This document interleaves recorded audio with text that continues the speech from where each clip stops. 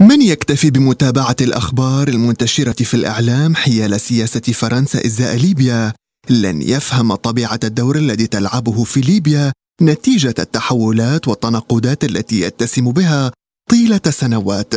فماكرون يبدو داعما لجهود الأمم المتحدة الرامية لإيجاد حل سلمي للأزمة الليبية لكن ساكن الإليزيه في الوقت نفسه يعد أبرز الداعمين لحفتر رغم محاولاته إخفاء ذلك في كل مناسبة.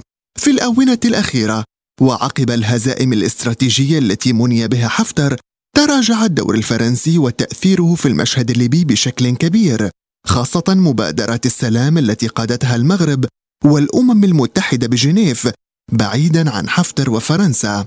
ما دعا باريس إلى محاولة العودة لتفاصيل المشهد الليبي عبر المبادرات السياسية وبالتالي إعادة حفتر له كطرف فاعل بعد أن ألقت به الهزائم بعيدا عن الساحة.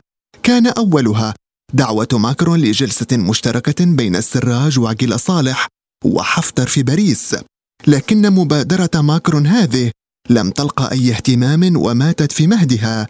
ليعود الأخير من جديد لطرح مبادرة أخرى جديدة تضم هذه المرة دول جوار ليبيا بالتوازي مع المبادرة التي تشرف عليها الأمم المتحدة وتحظى بإجماع دولي فيما يشبه عرقلة للجهود الأممية التي بدأت تثمر ولو قليلا في جنيف وبوزنيغا لتعود فرنسا إلى مربعها الأول الذي يظهرها دائما كأنها ضد التصعيد لكنها تدعمه بطريقة ما ويبقى الشيء الواضح الوحيد هو أن باريس مهتمة جدا بليبيا.